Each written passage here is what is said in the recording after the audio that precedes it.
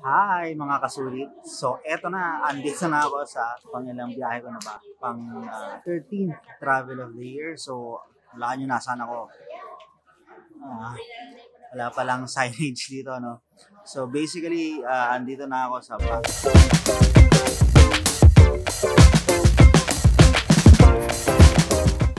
patungong Basco, Batanes, mabuhay.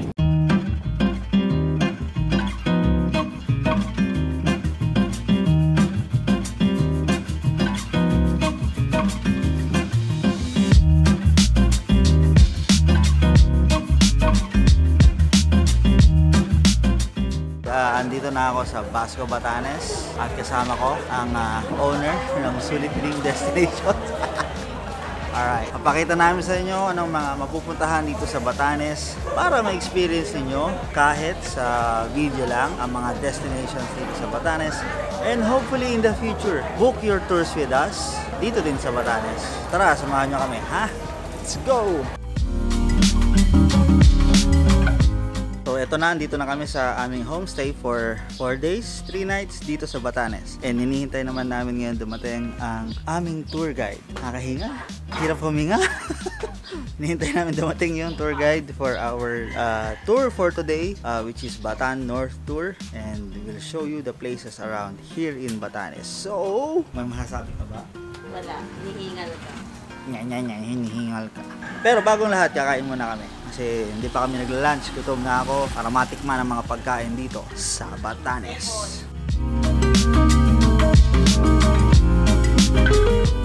Yan na, dumating na yung guide.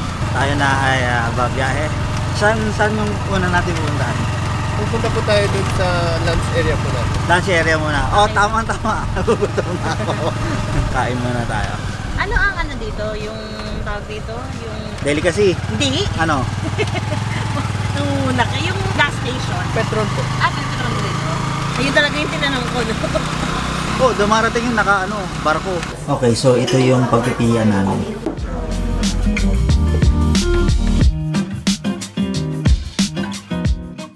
Tara, kain.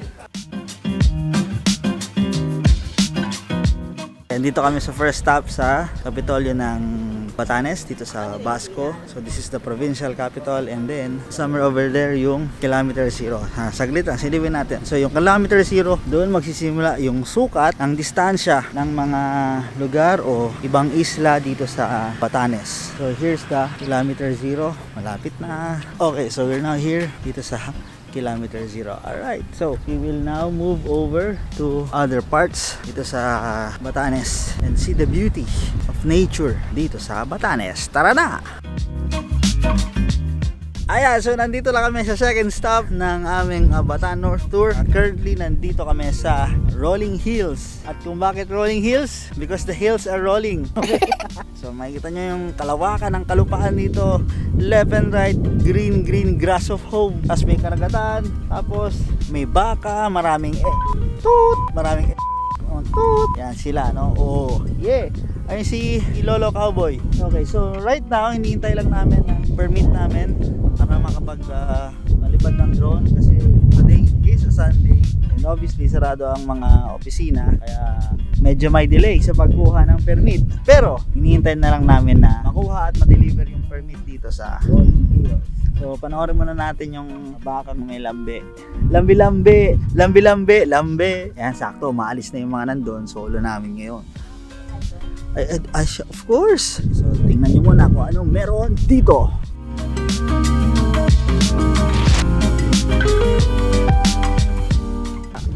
Abaya ang rolling helmet. Yun na yata yun. Andyan ang drone permit nito and we will fly up.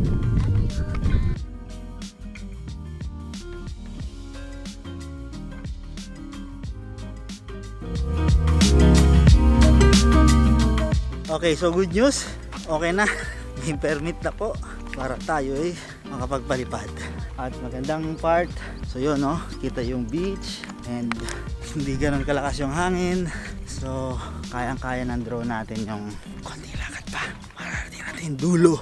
Okay, so in this part, about the edge. And we will fly our drones here.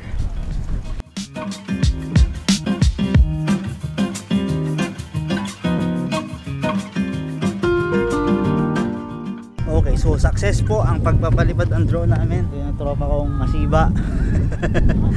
Baba na kami ng rolling hill so we could uh, go to our next stop. Saan actually hindi ko alam. Sunod lang tayo. Okay. So napakaganda talaga ng tanawin. One last look.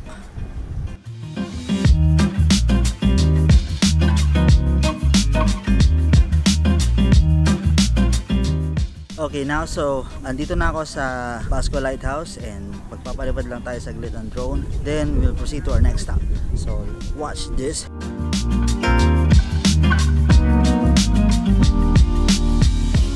Okay, so success ang ating pagpapalipad ng drone. You're off to the next stop. Okay, so tagumpay na ang ah, aming kasuotan ng mga ibataan. Sayang, di ko na vlog. Tingnan nyo na yung picture. ang kati kasi. Pero maganda, try nyo. 10 piso lang. Susot mo na siyang buo. Pero mo iuwi, arkilay mo lang, saglit. Kasaptang daw 800. Pag binili mo, Ah, lintik na. bibili ko doon. Para Paano mo iuwi yun? pag nagsasampo, suot ko bakit? Suot ko sa airplane.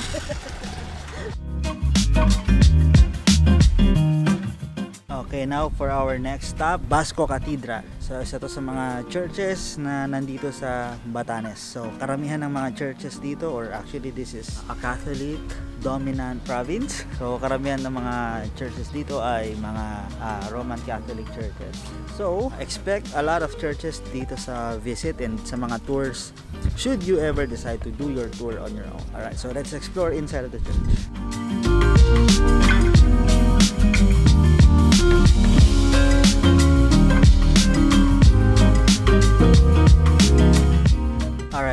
Our next stop is dito sa Mount Carmel Chapel here in Batanes. So, unfortunately, nung nakaraang bagyo, si Bagyong Ferdy, nasira tong chapel na to. So, it's now currently undergoing a repair and renovation to further enhance the structure of this chapel and para mapaganda na rin yung current status niya. So, makikita ninyo, major damage ng chapel na to, yung bubong. No, yung bubong niya nawala. So, ngayon, eh, pinapalitan siya and ginagawang mas matibay compared to the previous type of roofing na ginamit.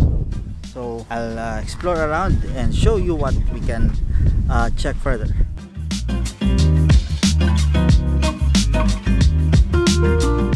Here on our next stop, uh, the Pag-asa Radar Station dito sa Pasco. So, isa ito sa mga unang nakakaalam kung merong bagyo parating. And also, pinanggagalingan ng mga balita kung uh, ano ang magiging status ng mga flights. Mamaya agad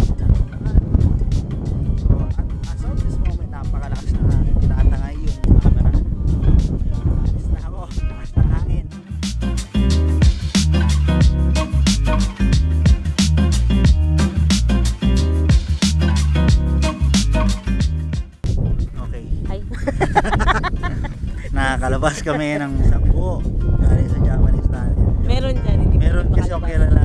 Hirap na hirap talaga. Bilugan na kasi. Makapal mo kung Hindi makalabas. Grabe. Hindi ka kasya dun Oo, ito. sa punta. Ito yung itsura niya. oh. This is, anong side to kuya? Basco Town proper. Kaya lang hindi kita yung sa amin. Maulap. Ah, baba na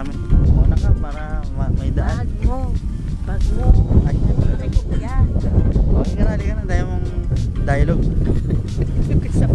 Mauna ka para ma mabutas mo yung daan kasi malayo. eh. So on our way now, pababa, pabalik sa pinasukan namin. Pwedeng puntahan yung lighthouse ng gabi. Paano kayo makakapunta doon ng gabi? Tricycle?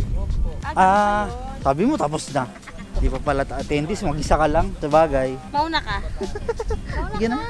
Huwag mo kong hawakan kasi pag nadulas ako, sasama ka. Masira yung damit ko. Thank you nga pala sa GoPro. GoPro, maraming salamat. Tsaka, to, to, to, to.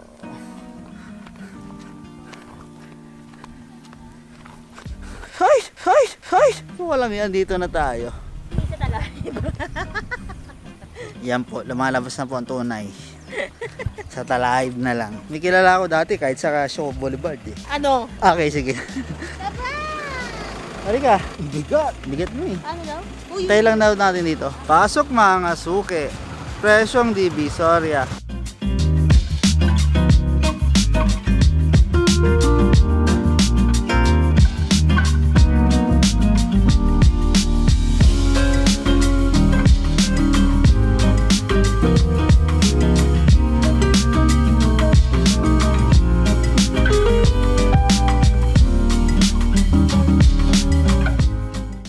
So finally tapos na yung tour namin for today. Yun yung Bataan North Tour. And now, kami naman ay kakain. Ano yung in-order natin? Ha? Bahala na? Basta pork. Kung ano ang pork yon, we'll figure it out in a few. At ah, ubus ang energy. Merienda time. Chibog time. Magra-rice na kami. Sobrang gutom. Pero baka mamaya magra-rice ulit. Maaga pa lang kasi. So, anong oras pa lang ba? Time check. 5, mag 5.15 pa lang. So, maaga pa. Free dinner. So, ano to?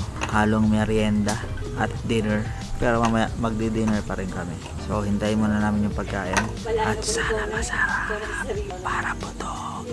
Damn. That was our first day in Batanes, Batan North Tour. So this is your first tour once you enter the province of Batanes. From the airport, dadaling kayo sa inyong hotel or homestay accommodation, drop off your things, pick you up again, and there you go. You're now starting your tour. Kung nagustuhan niyo itong video na to, please hit the like button. And do not forget to subscribe to our channel and click the notification bell. You can also like us on Facebook and follow us on Twitter and Instagram. Again, this is Brian Stigoy and see you on the next Dream Destination.